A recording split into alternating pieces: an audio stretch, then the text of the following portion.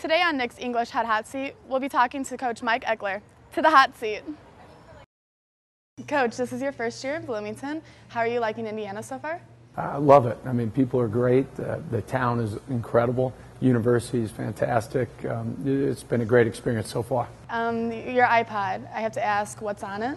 I got a lot of country music, a little David Allan Coe, a lot of Bob Marley. I'm a Jamaican citizen, so I got to stay true to my roots. You had an embarrassing moment when you were coaching at another university. Can you tell me about that? Well, I, I got hit pretty good in the groin um, when we were playing KU, and but I turned it into a positive.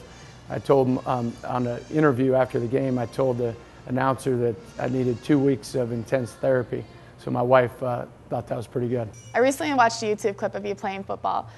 You kind of get into the games. Can you tell me about that a little bit? You know, I set an NCAA record for having the most fun of anyone who's ever played, and that's my goal as a coach.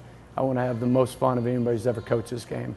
And by doing that, you got to you got to win, and that's that's why we're here. Your living situation when you first got to Bloomington, tell me about that. You know, I just rolled into town and and rolled in in our 45 foot RV and parked it right in the stadium and and uh, took up shop for a few months.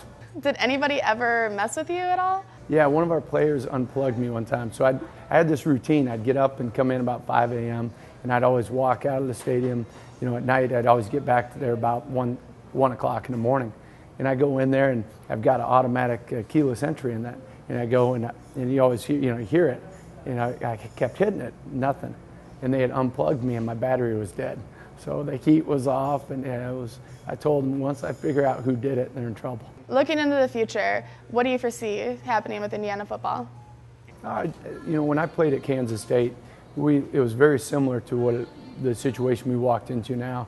And by the time I was a junior and senior, we were a top 10 program. And, and that's what, um, obviously, that's, that, that's a goal. That's what you want to build to, and, and um, that's what we're shooting for. Hey, Mike, thanks a lot for joining us here on Hot Seat.